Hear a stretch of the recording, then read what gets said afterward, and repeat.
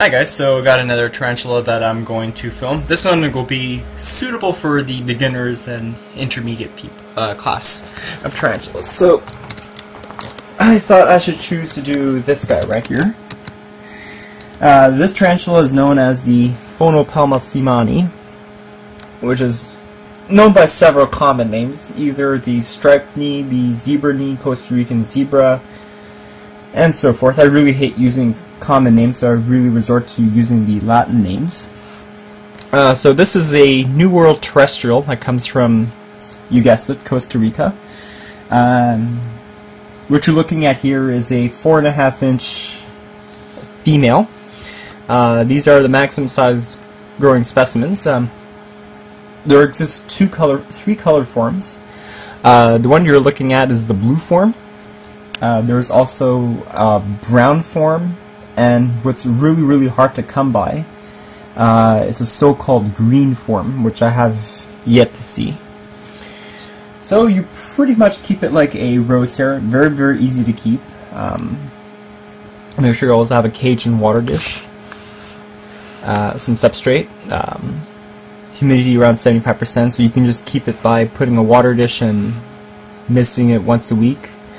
Should be suitable. Um, temperament wise, uh, really, really don't you don't suggest you handling these types of species because some of them, like especially mine, can be quite hair kicking. The hair, the hairs of phonopelmas aren't that bad compared to like um, you know the brackies and the uh, some of the bird eaters, but um, in general they're very, very, very nervous tarantulas, so they're really, really skittish. What I mean by skittish is that they'll run at the slightest disturbance.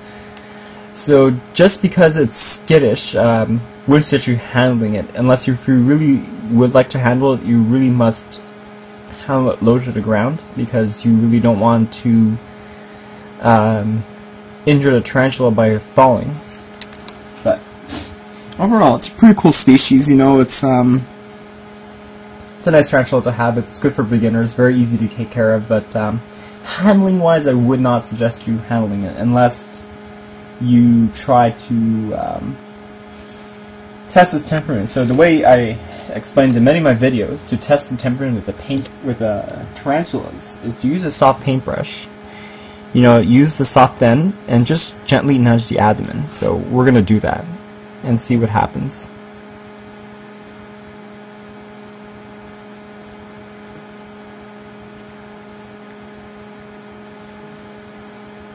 Okay, that means that she, she tried to run away from the paintbrush. So she, but uh, she's she's an overall nice tarantula. I wouldn't, I don't handle mine because I've seen her a couple times uh, go into a threat posture and kicks hairs at me. So not a pretty girl.